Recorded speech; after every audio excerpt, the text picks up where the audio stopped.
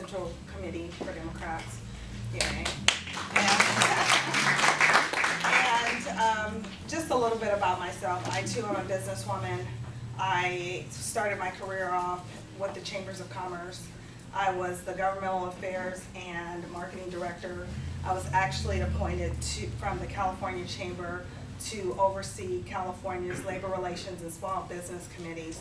I then traveled um, to Sacramento. I'm originally from San Francisco, so I relocated into Sacramento. And, um, and I relocated here to do HR consulting. And that's what I've been doing ever since, HR consulting and actually public relations consulting. I feel that I am a great city council member because one, I bring a business perspective that is not on the council at this time. I am a person who understands how to bring corporations to a city. I worked very intensely with Fresno to bring in the Fresno Grizzlies and to work with their labor to build their stadium.